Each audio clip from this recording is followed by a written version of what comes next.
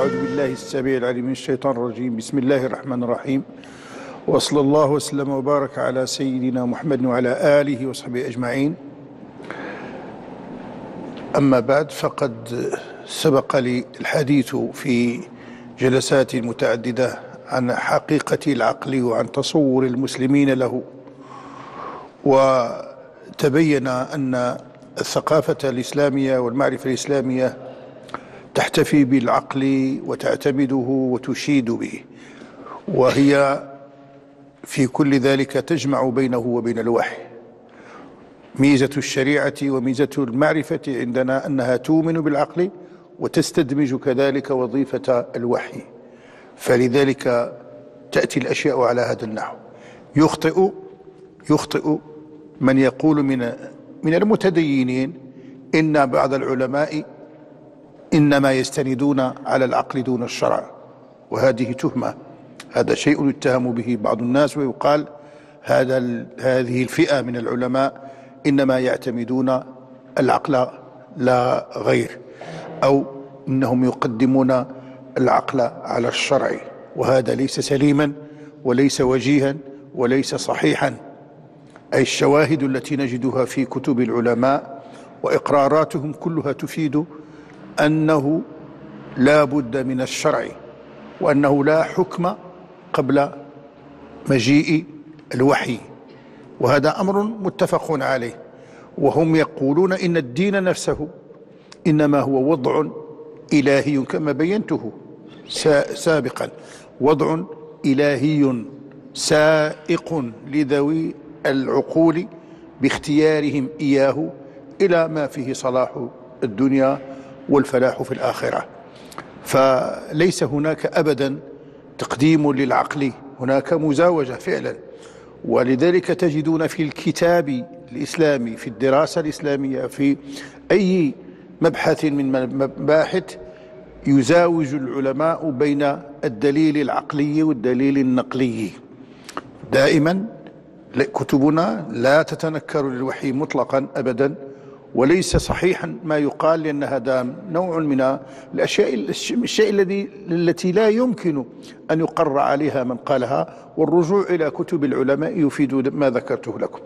كذلك لا نقر من يقول بأن المعرفة الشرعية ليس لها صلة بالتعقل وبالعقل. هذا نوع من التجني بل إن المعرفة الشرعية تحتفي بالعقل وتؤمن به وتوليه مكانته وتوظفه بل إن التكليف كله إنما هو متوقف على العقل. كل تكليف بشرط العقل. إذا قال الناس هو كل تكليف بشرط العقل والعلماء المسلمون وهم يخوضون فإنما في كل مباحثهم دائما يهتمون بالعقل ويستخدمونه ويرجحون به إلى غير ذلك مما هو معروف في كل كتب. إحنا عندنا علوم كلها علوم عقلية. إذا كانت عندنا علوم عقلية هي مساندة للنقل. لا يمكن لأحد أن يدعي الناس المسلمين بأنه ليس لهم اهتمام بالعقل وهذا أمر دائما تسمعونه الآن وتسمعون أن كل ما له صلة بالدين هو أساطير وهو مخالف للعقل وهو وأنا بينت لكم أمس عن قصد أن هنالك الآن ارتباكا واضطرابا في تحديد ما هو من آه من صلاحيات العقل ومن الحقل العقلي ومن الحقل الشرعي أو العادي. بينت لكم المعارف. حتى لا تختلط عليكم الأمور لأن الذين ينكرون شيئا ألفوه في أنفسهم ألفوه وتعودوا عليه. آه، إذا رأوا ما يخالفه قالوا إن هذا مخالف للعقل وهو ليس مخالفا للعقل وإنما شيء هو خروج عن العادة. والعلم الآن هو هذا ما يفعله العلم. العلم يتطور. العلم يتطور بمعنى أن يوميا العلم يخرق العادة. اليوميا يأتي العلم بما يسميه الناس عجبا. عجابا؟ كيف صنع الناس هذه المصنوعات الحديثة الباهرة؟ هذه السرعة الفائقة هذه الأشياء الدقيقة إنما صنعوها بعقلهم وتجاوزوا وتجاوزوا حقائق وأوضاعا مادية أو عادية كان الناس يألفونها. إذا هذا أوضحته بما فيه الكفاية. وعدت أن أتحدث الآن عن حقيقة أخرى هي حقيقة العلم. وكما يجب أن تكون يكون مفهوم العقل عندنا واضحا حتى لا نخطئ يجب كذلك أن نفهم ما المراد بالعلم. ما أكثر من يت... ما يتحدث الناس عن العلم؟ وما أكثر ما يمدح أناس بأنهم أهل علم وما أكثر ما ينفى هذا العلم أناس. هذا العلم آه، يتعلق الناس به لشرفه يتعلق الناس به. ولذلك كما قال بعض العلماء ما نسب شخص إلى علم إلا وتمجد به وتمدح به. كل ما يقال كل ما قيل للإنسان أنت تحسن كذا فإنه يرى ذلك رفعا من مكانته وقيمته. وكلما نفي العلم عن, عن, عن, عن شيء أو شخص إلا واعتبر ذلك مسبة ومهانة ومثلبة. فلو قيل للإنسان أنت لا تعرف لا تعرف كيف تجلس أو كيف تأكل لاعتبر ذلك غضا من قيمته. أد نسب نفي عنه العلم في في في هذا وهذا شيء مهم جدا. هذا يبين عن مكانة العلم. وهذه قضية رسخ رسخها القرآن.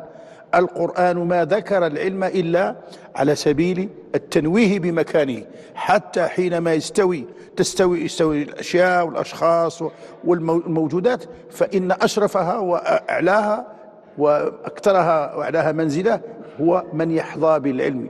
حتى حينما تحدث الله تعالى عن العفاريت وعن الجن ذكر أن الذي عنده علم من الكتاب كان أقدر من الذي ليس له علم الكتاب. في في الجن. في الحيوانات كما ذكر ذلك القرطبي وغيره ذكروا أن الحيوانات تشرف بقدر ما لديها من العلم مع أن العلم ليس مطلوبا في في الحيوان. العلم يقولوا يشرف به الإنسان. ولكن الله تعالى ذكر أن الحيوان المعلم الكلب أو ما يصاد به المعلم الذي يعلم الصيد إذا صاده فإنه فإن صيده يكون حلالا. إذا كان الحيوان غير معلم لا يعرف لم لم يعود على الصيد فإن صيده لا يؤكل. وما علمتم من الجوارح مكلبين تعلمونهن مما علمكم الله. ما علمتم من ولذلك تعرفون هذا والفقهاء فسروا هذا. الكلب الذي إذا أشلي انشلى إذا طولب بأن يذهب أو يأتي بكذا هذا يسمى معلما. والكلب الذي ليس معلما لو صاد فإنه لا يصيد إلا لنفسه ولذلك صيده لا يجوز. إذ ترون كيف أن التفاضل يقع بين الحيوانات بسبب العلم. فلذلك هذا مهم مهم جدا أن نعرفه وأن نعرفه. هذا شيء مهم ويجب أن نسطر عليه. أن العلم هو قيمة ذاتية هو في حد ذاته هو قيمة ذاتية. من ارتبط به ومن التصق به لابد أن يناله شرف العلم. العلم هو في حد ذاته شرف وقيمة ذاتية. فلو لم يأتي هذا العلم مثلا بمكاسب مادية بشهادة بكذا يظل مع ذلك العلم علما ويظل مكانا فحينما يريد الإنسان حينما تريد الأمة حينما يريد الشخص حينما تريد الجماعة أن تشرف فبالعلم تشرف.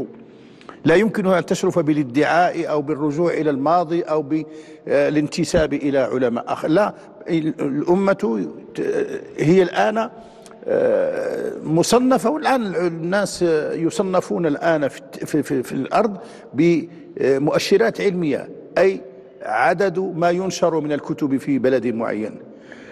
ساعات القراءة التي يقرأها أناس مثلا الأمة أو العرب كم, كم يقرؤون؟ وكم يقرأ مثلا الأوروبيون؟ كم يطبع هذه الشعوب العربية والإسلامية كم تطبع كم تطبع الشعوب؟ هذا شيء هذه مؤشرات حقيقية لأن التفاضل لا يكون بالادعاء. فإذا قيل إن مثلا إن دولة واحدة أوروبية كإسبانيا مثلا تطبع أكثر مما تطبعه جميع الدول العربية فهذا معناه واضح أن الدول العربية ليست في حاجة إلى الكتاب. لا تطبع لأنها لا تقرأ وإذا كانت لا تقرأ فهي في الحاضيض سواء شمخت بنفسها أو رفعت آه، بنفسها أو ادعت شيئا ما لأن العلم هو قيمة ذاتية آه، يجب أن نعتقد هذا. لا آه، نحن الآن طبعا أصبحنا نربطه بما يحققه من المكاسب. بل الإنسان حينما يكون طالب علم كالعلوم الشرعية والأمة تحتاجه فيما هو شرعي في دينها وفي حقيقتها فإذا كان الطالب العلمي يفر ويزيف وجوده فلا يهمه العلم يهمه أن يحصل على شهادة يقال فيها أنها حصل على الليسانس على الدبلوم على الدكتوراه قد تحصل ولكن العلم انتهى. فالقيمة الحقيقية هي قيمة العلم ولذلك العلم شيء كبير. وهذا طبعا شيء يطول الحديث عنه في الشريعة الإسلامية كلها تدور على والشريعة بهذا المعنى أنجزت الحضارة. الشريعة الإسلامية بهذا أنجزت الحضارة لأنها ربطت الإنسان المسلم بالعلم وتألق وتفوق في وقت في زمن قياسي. حينما كان النبي صلى الله عليه وسلم يقول نحن أمة أمية لا نكتب ولا نحسب. ماذا فعل؟ أصبح يعلم الناس كيف يكتبون ويحسبون كما تعرفون ذلك في غز... أعقاب غزوة آه، بدر وكذا والأسرى وإلى فكان يعلم الناس حينما كان في آخر أيامه النبي صلى الله عليه وسلم آه، تغير الوضع تماما. هو يقول نحن أمة أمية لا نكتب ولا نحسب. ثم بعد ذلك ينزل القرآن ليعلمنا وليفصل القول في الكتابة. يا أيها الذين آمنوا إذا تداينتم بدين إلى أجل مسمى فاكتبوه وليكتب بينكم كاتب بالعدل ولا يأبى كاتب أن يكتب. كما علمه الله فليكتب. هذه طرق الكتابة مفصلة في القرآن. لو لم يكن الأمة قد انتقلت من دور ومن مرحلة أمة أمية لا تكتب ولا تحسب إلى أن تعلم ما كان لها القرآن ليبين لها كيف تكتب. إذا كانت أصلا هي لا تعرف كيف تكتب. وليملل الذي عليه الحق وليتق الله ربه ولا يبخس منه شيئا. فإن كان الذي عليه الحق سفيها أو ضعيفا أو لا يستطيع أن يمل هو فليملل وليهب لماذا يملل يمل الذي عليه الحق؟ لأن اعتراف حينما يكتب الذي يملي هو الذي صح الذي عليه الدين الذي عليه لأن كلما أملى فإنه يعترف بأن فلان له علي ألف دينار كذا وأؤديها له في شهر كذا وكذا. فهذا خلاف ما لو كان صاحب الدين هو الذي يملي. قل له أنت اللي كنت تقول أنا ما كنتش نقول. فهذا هذه هذه أشياء يكتبها يعلمها القرآن. بمعنى أن النقلة الكبيرة في, في الإسلام هي نقلة العلم. النقلة الكبيرة هي نقلة هذه الأمة التي كانت لا تعرف العلم هي التي أصبحت تجلس في حلق الدرس. حلقة الدرس هي المؤشر على أن الأمة موجودة أو غير موجودة. حينما كان السيوطي يدخل إلى مسجد القاهرة زار القاهرة يقول وكان فيها أكثر من هذا في القرن العاشر القرن العاشر اللي هو تعرفون كان يقول لا سيما في قرن عاشر القرون ذي الجهل والفساد والفتون سمي هكذا. هذا القرن الذي قيل عنه هذا كان يدخل فيه الإنسان فيجد فيه مئة حلقة في الوقت الواحد. وهذا كنا نجده في القرويين نجده في ولذلك وجدت الأمة المتحضرة العالمة العارفة التي تقود الحضارة وتنتج هذه المنجزات. حينما يذهب العلم حتى التدين بلا علم هو نوع من من الفوضى التدين بلا بلا علم هو حديث آه، لا ندري إلى أين ينتهي بالناس. كل يتحدث بلا قاعدة بلا, بلا سند. على كل ف قضية العلم في الإسلام يجب توجيه الناس إليه إليه. لأن الناس الآن نلاحظ أن لا يعرفون للعلم. أي حينما ترى أن الإنسان يسلم من الصلاة. السلام عليكم. ويقوم. لا يزيد على الصلاة شيئا. كأنه انتهى الدين توقف عن السلام عليكم. فليس هو محتاج لأن يعرف كيف ما هي أنواع الأذكار ولا ما هي المسنونات وما هي الفرائض. وليجلس هذا الفقيه ليعلم الناس كيف يكون تكون الصلاة. فلا أحد يستمع إليه. لأن كل شيء انتهى عند هذه العبادات فقط. وهذا خطأ كبير جاء نتيجة للتوجيه السيء ولعدم اهتمامنا ببيان قيمة العلم ومكانته ومركزيته في, في, في, في وجود المسلمين. هذا العلم يحتاج الآن إلى كلام آه، واسع ومؤصل حتى نعرف ما عن أي شيء نتحدث. العلم أو حقيقة العلم أو أنواع العلم ضرورية ضرور معرفتها ضرورية. هي الآن أصبحت آه، مبحثا أو أصبحت فرعا من فروع العلم الآن وفروع الفلسفة. في الفلسفة المعاصرة الآن آه، مباحث بل نظرية يسمونها نظرية المعرفة. نظرية المعرفة. هي العلم. المعرفة بالنسبة لنا هي العلم. إلا في فنظرية المعرفة هي نظرية متكاملة ولها من يفكر فيها ولها عنوان. هم يكتبون الآن في الإبستيمولوجيا. والإبستيمولوجيا هي المعرفة نظرية المعرفة. هي التي هي ما هي ما نتحدث الآن عنه نحن في المنطق وقد نجد بعض المباحث موجودة كذلك في علم أصول الفقه. هي الموضوع واحد. العلم ما هو؟ العلم إن أخذناه من جانبه السهل اللغوي السهل هو قلنا إنه إنها إنه عبارة عن تصور تصور الشيء في العقل أو ارتسام الشيء في العقل أو حصول حصول صورة الشيء في العقل. هذا تعريف حصول صورة الشيء في العقل. أن يكون العقل فارغا ثم آه، تأتي معلومة من المعلومات. شيء ما. فيعلمه الإنسان ويرتسم هذا ويرتبط ويدخل إلى عقله فيصبح هذا هذا هو حقيقة العلم أو بداية العلم أو منطلق العلم إن شئنا. حصول صورة الشيء بكيفية عادية كيفية هذا تقريبا آه، تعريف لغوي. لكن المسلمين آه، يختلفون والعلماء المسلمون مختلفون آه، في تعريف العلم بحسب دقة الموضوع دقة المعرفة. فهناك علماء ييسرون بحسب آه، اختصاصهم وهناك علماء يضبطون. فيمكن أن نتحدث عن مذهبين مذهبين كبيرين في تفسير حقيقة العلم. المذهب الأول وهو الذي إن شئنا قلنا إنه مذهب واسع يوسع وهو الذي يقول إن العلم هو الإدراك. العلم هو إدراك حقيقة الشيء أو الإدراك مطلقا. الإدراك في حد ذاته هو معنى البلوغ له معناه هو معنى البلوغ. أي أصحاب موسى لما رأوا فرعون يطاردهم قال إنا لمدركون أي إنها إنهم سيلحقون بنا. فالإدراك هنا بمعنى اللحوق. ويقال كذلك أدركت التمرة إذا هي نضجت أدركت أدركت وقت أكلها وقطافها. هذا المعنى العام للإدراك.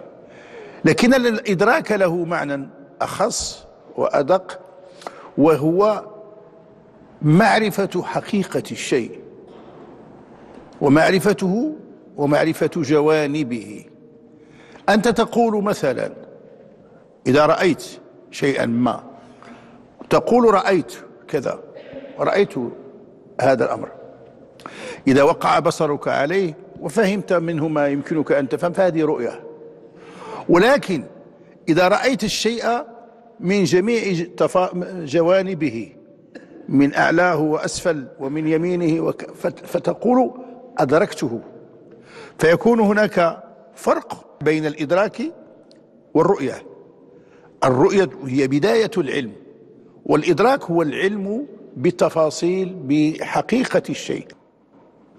وهو لا شك أخص من الرؤية هو لا شك أخص من الرؤية. وتقول رأيت الشيء وما أدركته. رأيت الشيء وما أدركته وهذا كثير. نحن الآن في أكثر أحوالنا ندرك نرى ولا ندرك. نرى الشيء مثلا نحن الآن معنا أجهزة للتصوير. نحن نرى هذه الأجهزة وهذه المصابيح وما إلى ذلك. نراها جميعا. ولكن لا, لا, لا ندرك اشتغالها وكيفيتها. لا لسنا كالمهندسين مهندس الكهرباء أو مهندس التصوير هذا فرق إذا نظر إلى هذه الآلات فإنه يستبطنها ويعرفها ويعرف مكانتها وقيمتها ووجه الخلل فيها إذا وقع فيها ويمكن أن يصلح. أما نحن نقف عند حدود السطح رأينا هذه الكاميرا فقط ولكن ما نوعها ما طاقتها كيف تشتغل؟ هذا هذا لا نصل. إذا هناك فرق بين رؤية وإدراك المعتزلة حينما كانوا يتحدثون ويناقشون قضية رؤية الله تعالى في الآخرة في الجنة نفوهم. طبعا هم ينفون الرؤيا هذا من مذهبهم. ويستدلون على ذلك بقول الله تعالى لا تدركه الأبصار وهو يدرك الأبصار. لا تدركه الأبصار. هذا ذكروه دليلا على امتناع الرؤيا لأن الرؤيا فيها فيها تحيز فيها أشياء من القبيل فيقول أهل السنة إن الآية تنفي الإدراك. هي منصوص عليه ولكنها لا تنفي الرؤيا. ونحن نميز بين الرؤية والإدراك. هذا في النقاش. هذا نقاش العلماء نقاش المفكرين. نثبت الرؤية نثبت الرؤية ولا وننفي الإدراك لأن هناك فرقا وبونا شاسعا بين الرؤية والإدراك. هذا أذكر لكم مثلا في في في تحديد هذه الكلمة كلمة الإدراك وكلمة الإدراك بهذا المعنى أنتم تلاحظونها كلمة عادية لكنها في عند المناطق وعند الأصوليين ذات معان دقيقة ووجب استحضار هذه المعاني حين إذا كنت تتكلم كلاما باللغة فقط. بالدلالة اللغة قلما تهتدي إلى شيء كبير وأنت تتحدث وكفى. ولكن بالنسبة لهذا الموضوع أنت لا بد من أن تميز. إذا هؤلاء الذين يتحدثون عن العلم يقولون إن العلم الآن هو مطلق الإدراك. هذا تعريف. هو مطلق. أنا بينت لكم التعريف الذي هو تعريف لغوي حصول صورة الشيء حصول صورة الشيء في ذهني أو في العقل هذا نتجاوزه. وقلت إننا الآن أمام تعريف اصطلاحي متخصص أن العلم هو مطلق الإدراك. مطلق الإدراك. كيف ما كان الإدراك؟ ليس فيه معنى آخر ليس فيه معنى التدقيق وهذا معنى هذا تعريف يجب أن نعرف إلى أي شيء يؤدي. فكل كل آه، معرفة بهذا المعنى هي إدراك. فلا يخرج أو لا ما ليس إدراكا هو الجهل.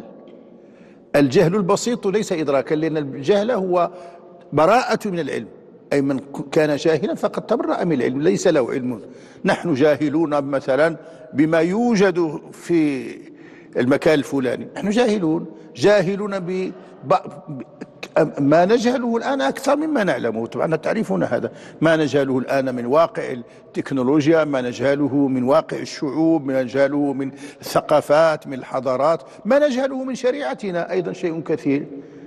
شيء معروف بأنه ما, ما لا نعرفه هو أكثر مما نعرفه. نحن وما أوتيتم من العلم إلا قليلا. بالأصل أصل الإنسان هذا هذه طبيعته. إذن هذا الجهل. فيبقى عندنا هذا ليس إدراكا وليس مشمول بهذا التعريف. لكن حينما نقول إن العلم هو مطلق الإدراك مطلق الإدراك فماذا فماذا يعطينا؟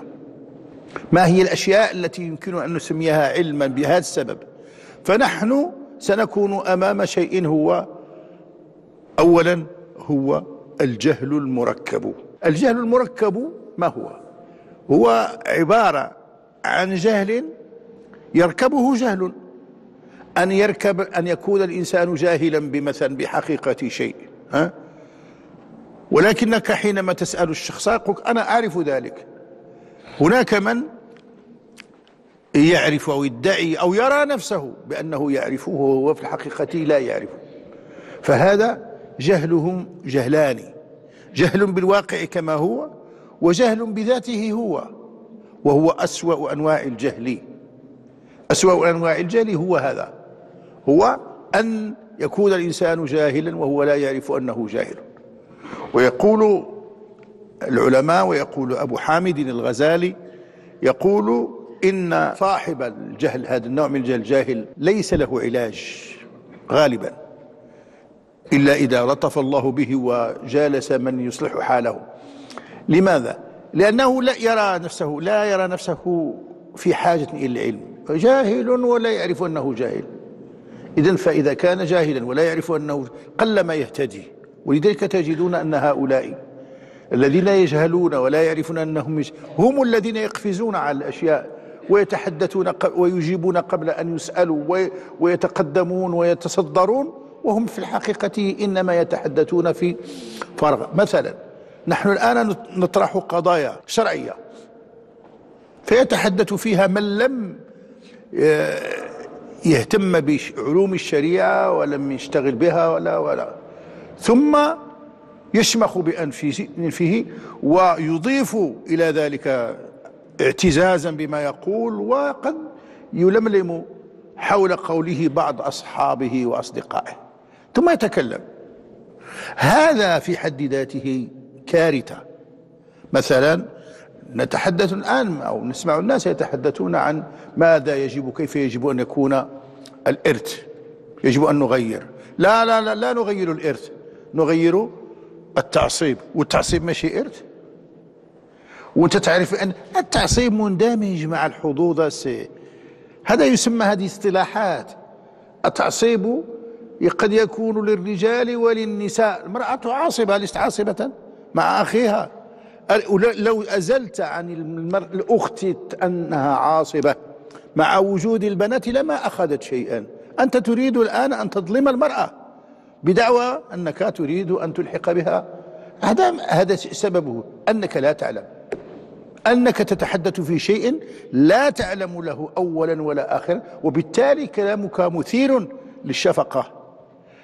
دعك من هذا. لا نريد كذا. فكلما حاولت أن تقترب من موضوع له خصوصية وله مكانة وظننت أنك ستأتي فيه بجديد فإنك في الحقيقة تغرر بالناس تغرر. وقد تلحق بهم. وهذا شيء مثلا ذكرت لكم مثال واحد ومثال وما أكثر الأشياء التي لا يذكر لا يعرفها الناس في ما يتحدثون به إذا تحدثوا عن النسب. النسب عادي نعطي الإنسان نسبا كيف تعطي الإنسان؟ النسب معناه الإرث. معناه حرمان ورثة يستحقون. هل تضمن لي أن أصحاب الإرث الذين يستحقون سيقبلون بك إذا أنت حرمتهم من حق ثابت لهم بالكتاب والسنة؟ هل سيسايرونك سيطاوعونك لأنك كنت تجتهد اجتهادا؟ مثلا هذا شخص ليس ابنا شرعيا فتعطيه النسب. واش غادي يسكت لك هو؟ واش غادي يدير بالنسب هو؟ ما غادي ما هذا ماشي آه، مسألة شعار. هو يقول أنا أريد مقتضى النسب. أنا بما أنني ولد لهذا يجب أن أكون وارثا. والولد هو أقوى الورثة لأن العصوبة أعلى درجاتها هي البنوة. فيمشي يسحب لك الاخوه كله يجري عليهم. وبعض بعض الورثه ينقلهم. يحجبوا حجب نقص من ثلث مثلا الأم والأب من ثلث السدس. هؤلاء سيسكتون لأنك يوما ما كنت نائما. وجاءتك هذه الفكرة المشرقة الجميلة. هذه فكرة مدمرة. هذه فكرة مدمرة. لو وجدت في أي كتاب مستقل ما كان لها أن تثبت. مثل ما وجدت نظريات وذهبت مع الريح. نظريات كثيرة لأنها كانت تمس حقوق الناس وأموال الناس. الناس لم يت... لا يتابعونك في أقل من هذا. لا يشايعونك وأنت الآن تأخذ منهم الحقوق ولا تعطيها إرضاء لشخص ليس له هذا الحق. مثل لذلك قلت لكم إن هذا الجهل خطير ويصعب اقتلاعه. يصعب اقتلاعه. فذكرت لكم ما ذكر عنه الغزالي. رحمه الله هذا الجهل المركب. إذا هذا الجهل المركب مع ذلك يدخل في مفهوم العلم. إذا قلنا إن العلم إن العلم هو الإدراك مطلق الإدراك. لماذا؟ لأن الجاهل أيضا يدرك وإن كان يدرك شيئا ليس على ولكنه يدرك. إذا نحن لا نستثني إلى الجاهل الذي هو جاهل صحيح هذا جاهل. أما الجاهل المركب فهو لا زال يعد نفسه في أهل العلم ويرى نفسه عالما ويدافع عن معرفته. لذلك يدرج. يدرج فيه كذلك الظن الشك. الشك قبل الظن. الشك هو آه، التردد. بين طرفين لا مزية لأحدهما على الآخر. أنت قد تكون أمام آه، حقيقة فيها أو شيء فيه حقيقتان أو فيه فيه قولان فتكون فتكون مترددا بين هذا وذاك. وتبقى دائما في هذه الحالة. هي حالة ليست آه، حسنة لأنك ما لم تحسم. في في قضاياك فأنت دائما تضطرب. ولكن هذا أمر قد يفرد هذا الشك قد يفرد لدواع أخرى. أي وهذا الذي أذكره لكم الآن والذي يجب أن تجيبوا به. لماذا يوجد عند فقيه واحد قولان في مسألة واحدة؟ الآن الذين يتحدثون في خارج من خارج الدائرة لماذا يكون عندنا قولان آه، مذهبان أو ثلاثة مذاهب أو أربعة؟ ماشي هذا. عندنا في الشخص الواحد له مذهبان. إذا كنت تعرف. أما أن تقول تجمع الناس مليار وستمائة يكون لهم مذهب واحد أنت راك تعرف بما لا تعرف. هذا ليس ممكنا. إلا إذا قلت للناس لا تفكروا. طبيعة التفكير أن يؤدي إلى هذا النوع من الاختلاف. طبيعة التفكير. ليس مقصودا ولكنه مفروض. نحن إنما نهذبه ونطوقه ولا نريد أن لا نسمح له بالانتشار. هذا ما لماذا يكون للإنسان وهذه مسألة ربما كثير من الناس لم يطرحها على نفسه؟ الشافعي وكما ذكر عنه بعض من كتب عنه له في أكثر من سبع عشرة مسألة قولان. له قولان في أكثر من سبع عشرة مسألة. الشافعي وهو إمام كبير. ولا يعترض عليه المبتدئون. الشافعي هو من هو؟ فلماذا؟ هل كان يقصد أن يكون له مذهبا؟ لا. كان له هذا سببه في الغالب هو أن يكون له دليلان ولا يستطيع أن يرجح هذا على ذاك فيأخذ بهذا وذاك فيسمون هذه الحالة. عقلوا عليها لأنكم أنتم اللي غادي تجاوبوا شي واحد آخر. ما الآخرين غير يهضروا هذه العلوم لن يستطيع أن يجيب. سيجيب جوابا فضفاضا عاما. هذا يسمونه تكافؤ الأدلة. أدلة متكافئة. أو تكافؤ الدليلين. أي لك دليل في هذا ولك دليل في هذا. هذا الدليل قوي في في مستوى ما والآخر. فيبقى لديك قولان. بسبب تكافؤ الأدلة. تكافؤ الأدلة ظاهرة موجودة. وسببها أن الناس يفكرون وأنهم قد لا يجدون مرجحا فلذلك يبقى هذا الظن موجودا. يبقى دائما هذا الظن موجودا و آه، تجدون هذا طبعا في الفقه الإسلامي وقد يكون له سبب آخر موجود. مثلا آه، أن ماء وهذا وقع للشافعي وأنه انتقل من العراق إلى مصر وكون مذهبه الجديد مذهبه القديم. أبو حنيفة كذلك آه، في مذهبه وقع شيء من هذا حينما ارتبط الحنفية بالمدينة دخلوا المدينة إلى غير ذلك من الأسباب. هذه أسباب في آه، نقرأها في تاريخ التشريع ولكن مهما يكون فهي آه، هل استطاع الناس أن يحسموا في. ما هو المراد؟ بالقروء. والمطلقات يتربصن بأنفسهن ثلاثة قروء. قيل القروء هي الحيض وقيل هي الأطهار. هذا دليل لهؤلاء دليل ولهؤلاء دليل. فلذلك يبقى أننا دائما نحترم الدليلين ونقول بأننا في هذه الحالة في حالة آه، شك وفي حالة وهي حالة من الحياة التي هي مفروضة علميا هي مفروضة ولا نستطيع أن نسكت أو نغلب ظنا ما أو فكرة ما لأننا نجد أنفسنا أمام أدلة متساوية. وصلى الله على سيدنا محمد وعلى آله وصحبه أجمعين.